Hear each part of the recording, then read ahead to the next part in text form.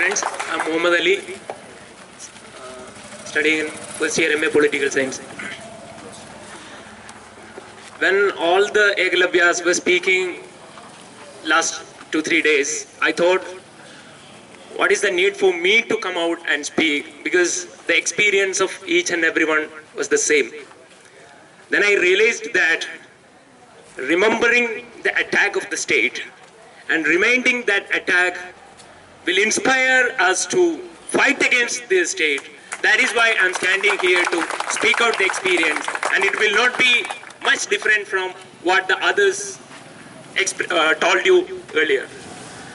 First, I was not there in the beginning of the incidents in 22nd. I came, I reached there after 12 o'clock. Unfortunately, I couldn't come before. And uh, when I entered this VC's lodge, I saw people sitting behind the VC's lodge and shouting slogans against VC. And even I could see some of the students were giving biscuits and water to the policemen.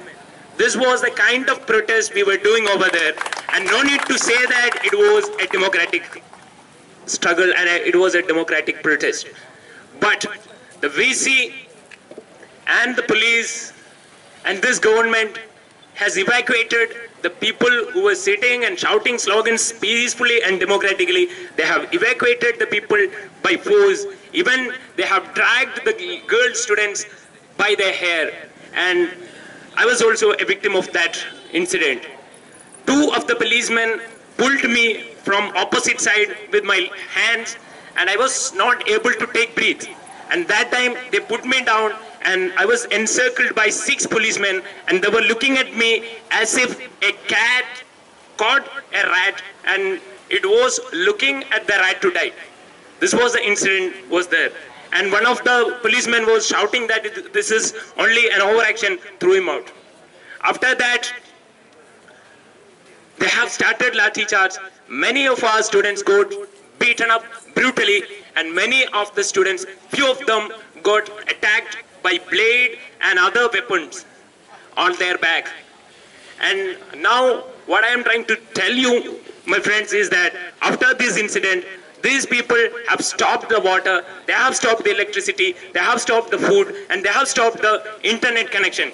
This act of these people uh, stopping water, electricity, and all the facilities, basic needs of the students, itself shows that they are fearing us.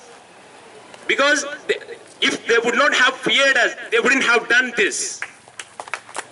It is evident from the incident of stopping the media coming inside. That itself shows that they have a lots of things to hide and cover up. Otherwise, they wouldn't have stopped the media to come inside. And one more thing, they have stopped the advocates from coming in, uh, from entering the university. And that incident of stopping the advocates, stopping the people from meeting the advocates and getting the uh, legal advices is the violation of the constitution, the, uh, the right of the people for constitutional remedies, Article 32. And one more thing is that now the VC Apparao has published their re- press release appealing to the parents that uh, appealing the cooperation of the parents and in which he stated that he will take care of the students of this university.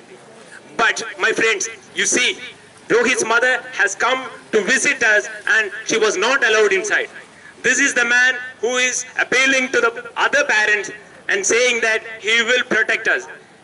Only one thing I have to tell him that, and this is what I have seen in a poster in Shopcom, that we want a VC who can run the university, and we do not want a VC who will ruin this university. And my friends, after these all incidents, many of our students got arrested, and they are still releasing the new lists. First came the list of nine people, then came 21, and they keep on releasing the notes and list of the people yet to be arrested. I have only one thing to tell you, Mr. Apparao, that you can target each and every one of us, and you can put each and every one of us behind the bar. But there is one, one we have tell, to tell you only one thing. That is a reminder which have been reminded by the greatest revolutionary poet Pablo Neruda. Neruda. You can cut all the flowers, but cannot keep the spring, uh, spring from coming. You can cut all the flowers, but you cannot keep the spring from coming. And my friends, there is a chance of many of us getting arrested in the coming days. But I have to tell you, I have to tell you one thing, and this is a reminder made by Martin Luther King in the day uh, when he was speaking in front of Lincoln Square in 1963.